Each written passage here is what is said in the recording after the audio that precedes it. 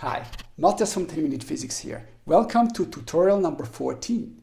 Today I'm going to reveal the secret of cloth simulation. We will use it to write a very fast demo that simulates 6000 triangles at 30 frames per second on my 3-year-old cell phone. Let's start.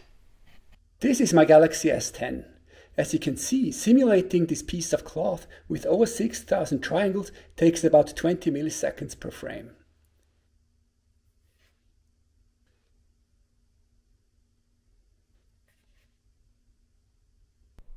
This is the same demo on my desktop.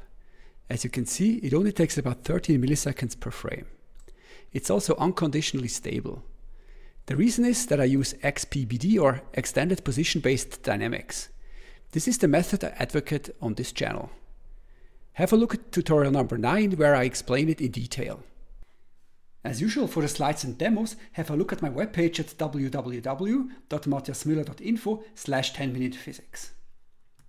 So let me reveal the secret of cloth simulation.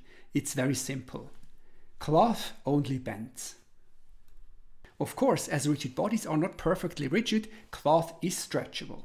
However, typically only between 0 and 5% and has a very strong stretch limit. So when you apply a force, it stretches a little bit, but then keeps its length as you increase the force. Try it at home. Try it with shirts, jeans, skirts, leather jackets, rain jackets, towels, curtains, tents, tarpaulin, flags, and carpets. Gravity is rarely strong enough to cause noticeable stretching. I have never noticed too little stretching in a cloth simulation. However, too much stretching is a bad visual artifact. What about latex or other stretchable material? Well, there you don't have dynamics, it's just quasi-static motion, so you can use skeletal skinning to animate this. So what's the conclusion? Forget about all sophisticated cloth models. They simulate this very small part of the force elongation curve. What we want is to simulate an infinitely stiff material. But how? Force-based methods explode. The solution is the XPBD or Extended Position-Based Dynamics method. We simply use zero compliance distance constraints on the cloth mesh edges. The cool thing is there are no parameters to tune. The only remaining effect is bending resistance, and we only have one parameter for this. We can handle this as a constraint between two neighboring triangles. There are two popular approaches here. In the first one, we add an additional distance constraint between the opposing particles. It's simple but weak in the flat state. The other solution is to use the angle between the two triangles. Such a constraint is strong in the flat state but more expensive to simulate. I will talk about it in a future tutorial. Since we need triangle neighbors to create bending constraints, I'll show you how to find these neighbors fast.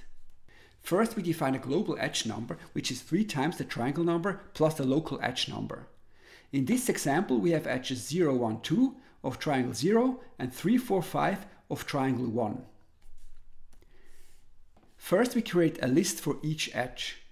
The first entry is the minimum of the indices, the second one the maximum of the indices, and the third one the global edge number. It's important that the indices are sorted. Now we sort the entire list. As you can see, adjacent edges appear next to each other. From this information, we can compute an edge neighbor list. A minus 1 means the edge is open. Now if we want to know what the neighbor of triangle 0 across local edge 2 is, we first compute the global edge number. In this case it's 2. We check the neighbor list and read a 4. 4 means it's triangle 1 with local edge number 1. As you can see, this is the correct result.